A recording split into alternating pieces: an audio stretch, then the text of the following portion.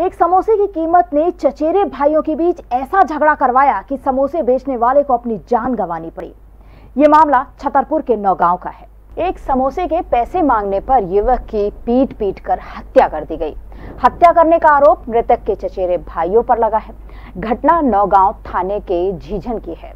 मृतक आशाराम कुशवाहा समोसे का ठेला लगाता है। उस ठेले पर उसके भाई समोसे खाने पहुँच गए। समोसा खाने के बाद आशाराम ने चचेरे भाइयों से पैसे मांगे, जिस पर चचेरे भाई विवाद करने लगे। विवाद बढ़ता देख आशाराम के चार भाइयों ने आशाराम की लाठी डंडों से पिटाई कर दी। घायल आशाराम को नौगांव अस्पताल लाया गया, लेकिन हालत गंभीर होने पर उसे झांसी मेडिकल कॉलेज रेफर कर दिया गया, जहाँ रास्ते में उसकी मौत हो गई। मौत की खबर लगते ही पुलिस ने आशाराम के चारों चचेरे भाइयों को गिरफ़्तार कर लिया है। सात बजे से आठ बजे तक घटना हुई है और फिर बाथरूम करने जा रहे थे पीछे से धोखे से मार दिए रा, राम किशन ने रामचैन ने कटुआ ने और हर प्रसाद ने। चारों तीन भाई एक बाप। विवाद किस बात को लेकर हुआ? विवाद ऐसे हुआ कि समोसा की ठिलिया थी हमारी।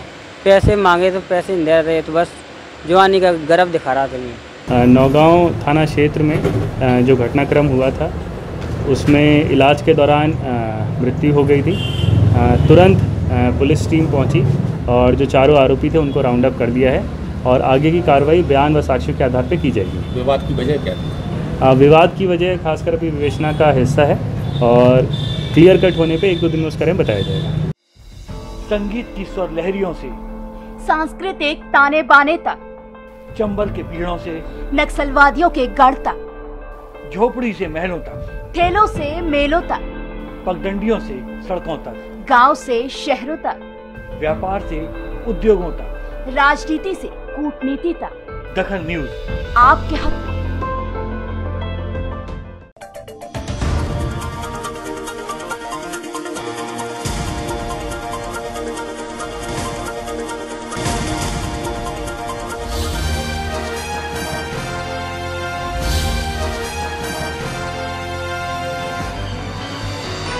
आप देख रहे हैं दखल न्यूज़।